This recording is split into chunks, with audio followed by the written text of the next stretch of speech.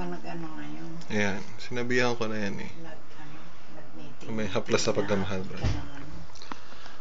Tumasama sa haplas sa pagmamahal, bro. I go home, then lose my hair when I'm 41. Ah, bad. Ba't ang gulo? Molded na. Ano masasabi niya, Max? Ako, ako. Pangit ka. So, Masakit ako yung na. ganito ha? Lagnat laki lang yan. ano masasabi mo? Lagnat laki. Ganyan yan. Ganyan, pag tumatanda ka na eh. Kaya pag tumatanda ka, ganyan talaga eh. Uh, struggling. Inom ka na ng Weak. Mamaya, alas tres. Pabatay tayo ng kare ko. Nakita ko. Sabi ko, hindi naman iinom ng tubig, nakahamak na sa bote. Shh! Ano ba ang gulo-gulo nyo? Tingnan mo yung washing ko doon kung tapos na. Uh, haplas ng pagmamahal. Si Gilbert, tuktukan ko ito mamaya. Nakatakip ka na mukha. Bet! The weak. Bet! Ito, suntukin kita! Wasing! Ang gulo-gulo mo eh. Ka na nga yan. Wasing yan eh. Joke. ano ba nakatakip ka na mukha?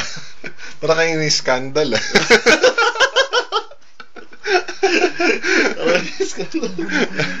Tingnan mo yung washing doon, baka mamaya na ano na yun. Mga sayo, Brad. Hindi pa ito yung washing. Pagod. Pagod. Kasi anak, Sunod na pa mo ka. siguro, hindi ka nag-ano. Siguro nga. Tatlong beses. Apat na beses maligo yan. Apat Apat na beses na ligo sa isang araw yan. Apat. Hindi. Kasi Grabe. Hoy, charger ko yan. Tsako. Wala pa Yan ako na sa Botas 5. Charger.